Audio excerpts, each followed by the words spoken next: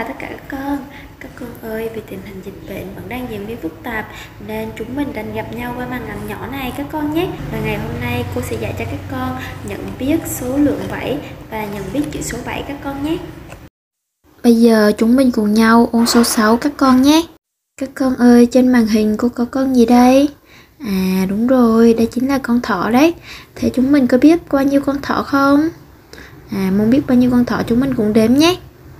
1 2 3 4 5 6 tất cả là 6 con thỏ 6 con thỏ sẽ tương ứng với thẻ số 6 đấy các con rồi các con đã được ôn số 6 rồi đúng không nào? Bây giờ chúng mình cùng nhau học số 7 với cô nhé.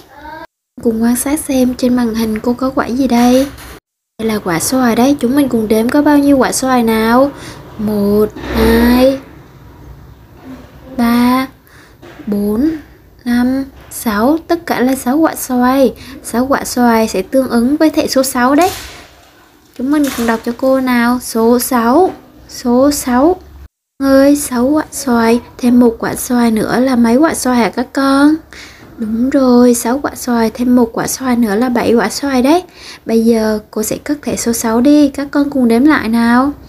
1 2 3 4 5 6 và 7 6 thêm 1 là 7 đấy các con.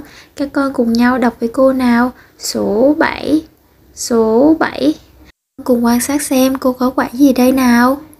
À đúng rồi, đây là quả dâu đấy. Chúng mình cùng nhau đếm với cô nhé. 1 2 3 4 5 6 và 7 quả dâu đấy.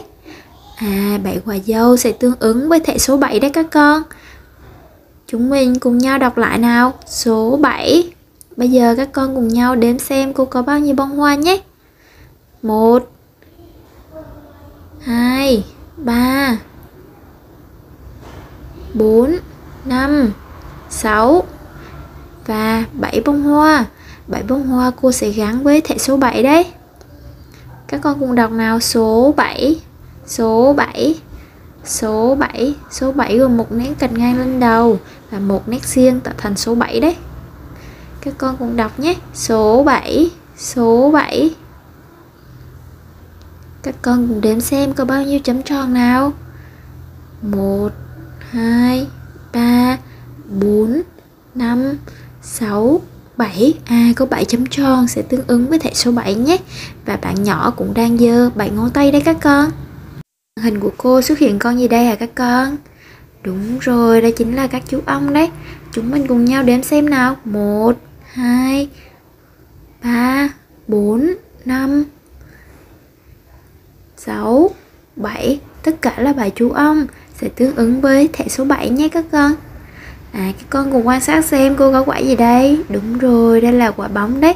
Chúng mình cùng nhau đếm nhé. 1 2 3 4 5 6 7 7 quả bóng thì tương ứng với thẻ số 7 nhé các con Đúng rồi các bạn học số 7 thật là giỏi đấy Cô khen các con nào con ơi, ngày hôm nay chúng mình đã được cô dạy số mấy nhỉ? À đúng rồi, đó chính là số 7 đấy. Về nhà các con xem trong gia đình mình có đồ dùng gì là số 7 thì các con hãy tập đếm đi nhé. Các con thân mến, bài học của chúng ta đến đây là kết thúc rồi. Cô Hằng cảm ơn các con đã luôn đồng hành cùng cô trong mùa dịch này nhé. Xin chào và hẹn gặp lại các con ở các bài học sau.